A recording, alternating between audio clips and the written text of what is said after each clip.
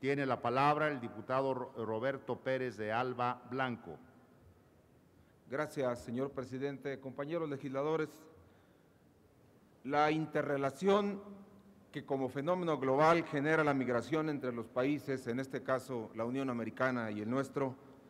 requiere necesariamente cada vez de mayores esfuerzos y decisiones conjuntas por parte de sus gobiernos para regular y ordenar, sustentándose en los derechos humanos,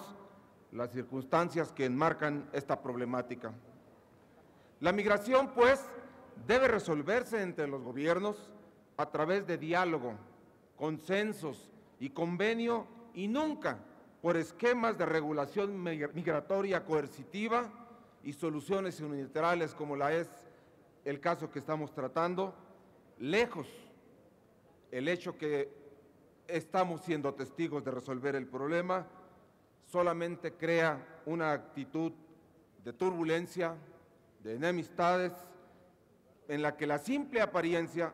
criminaliza la presencia de los que residen en el país vecino, careciendo o no de los documentos migratorios respectivos,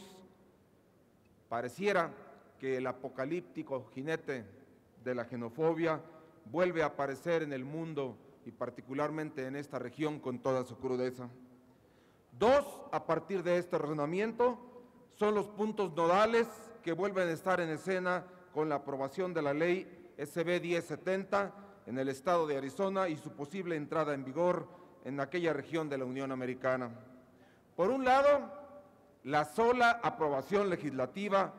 pone una vez más en evidencia la exclusión, la discriminación, el rencor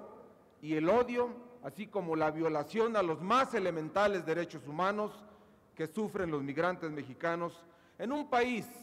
que no acaba de entender la importancia, tanto económica como política y laboral, que tiene la comunidad latina, especialmente la de nuestros connacionales. Pero por el otro,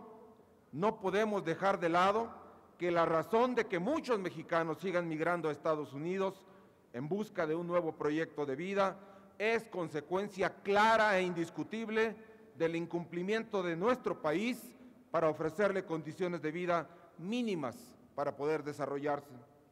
El grupo parlamentario de Nueva Alianza se suma con todo rigor y énfasis a la condena de esta legislación antimigrante. Por ello, exigimos del gobierno federal que emprenda las acciones diplomáticas, todas las que fuesen necesarias, para garantizar la protección de los mexicanos que radican legal o ilegalmente en Arizona y en cualquier otro estado de la Unión Americana, otorgándoles la asesoría y el auxilio necesario. Pero también el grupo parlamentario de Nueva Alianza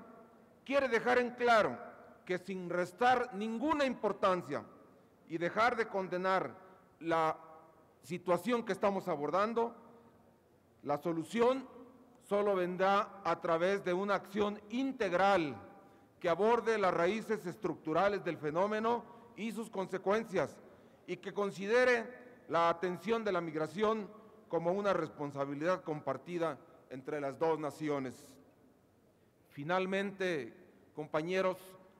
finalmente, aparte de este mensaje de condena, es importante que hagamos resaltar un punto que hoy está siendo testigo la nación de él. Hacer notar que hoy, como fue ayer desde la Junta de Coordinación Política, la Cámara de Diputados está mandando a la nación un mensaje trascendente que consiste en que independientemente de las banderas políticas, más allá de logotipos y colores que nos distinguen, los representantes podemos ponernos de acuerdo en los temas que le atañen a los mexicanos dentro o fuera de nuestras fronteras. Este, desde nuestra óptica, es un hecho muy importante para la vida parlamentaria. Continuar para este y para todos los problemas que en los sucesivos se nos presenten, en beneficio de la nación, de los mexicanos, es la actitud